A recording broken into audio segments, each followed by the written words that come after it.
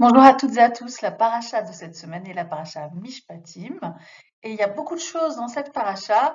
Je vous invite à la lire, des choses qui sont faciles à comprendre et auxquelles il est facile d'adhérer, et des choses qui sont plus compliquées. Euh, donc, euh, parmi toutes les choses qu'on va souligner, il y a la question du droit à l'avortement qui est évoquée très brièvement, mais on va en parler parce que d'une part, c'est un sujet essentiel, et d'autre part, aujourd'hui, nous sommes le Repro Shabbat, le Shabbat de la liberté reproductive. Et donc, c'est une initiative internationale dont on va parler.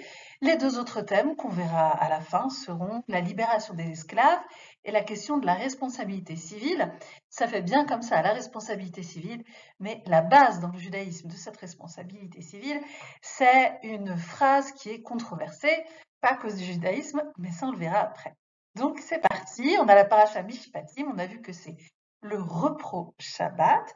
Et donc ici, cette slide nous dit la liberté reproductive, la liberté euh, de donner naissance à des futures générations de façon libre est une valeur juive, en particulier le droit des femmes à décider de ce qu'elles font de leur corps. Donc, initiative du National Council of Jewish Women, c'est ce que vous avez en bas relayé par le Jewish Women Archives, et c'est ce que vous avez en haut, vous pouvez les retrouver sur Instagram euh, ou euh, en ligne sans problème. Si on considère, comme le dit la diapo précédente, que la liberté de choisir de, son corps et de la façon dont on fait des enfants est une valeur juive, alors on peut s'interroger. Dans notre paracha, si vous regardez la traduction du rabbinat, vous verrez Nulle femme n'avortera. Eh bien, ce n'est pas du tout une injonction et une interdiction d'avorter. Et l'ambiguïté, en fait, est due au fait, euh, au fait, que cette traduction est une traduction ancienne. Donc, la phrase en hébreu est Lo tiye meshakela va'akara.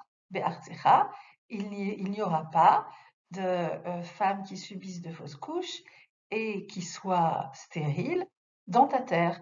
Donc, on dit ici que si on s'occupe bien des conditions de vie des gens, eh ben, tout se passe bien au niveau de leur santé et de leur capacité reproductive quand ils et elles le souhaitent. Donc, la Torah interdit-elle l'avortement? Certainement pas dans cette phrase. En un mot, on dira non. En deux mots, une interruption volontaire de grossesse euh, il y a un certain nombre de principes qui existent et quand la femme est en danger, eh bien, il est important de pouvoir mettre fin à la grossesse et il est approprié de considérer aujourd'hui qu'une femme qui n'est pas en mesure d'avoir un enfant est en danger d'avoir un enfant qu'elle ne peut pas assumer euh, dans de bonnes conditions. Donc, euh, ça c'est mon avis, mais c'est une vision étendue, plutôt large mais existante dans le judaïsme, du droit à l'avortement. Il y a un grand article que je remettrai sur mon, site web. N'hésitez pas à aller le voir. Donc, le fait qu'il n'y ait pas de stérilité, on pourrait le traduire aujourd'hui par le fait de favoriser l'accès de toutes les femmes à la procréation médicalement assistée, qui nous permet justement de vaincre la stérilité. Ce serait la parfaite application euh, de la phrase biblique qu'on a citée. Et euh, bah, le fait qu'il n'y ait pas de fausse couche, c'est aussi lié au fait de prendre bien soin de la santé des femmes. Autre point important dans la paracha, la libération des esclaves. On n'aime pas euh, le mot d'esclave, et ici, euh, on a bien raison. Et ici, il faut rappeler que la condition de ces esclaves dans la Torah est en fait une bonne condition de salarié avec un jour de repos, l'interdiction de surexploiter les gens.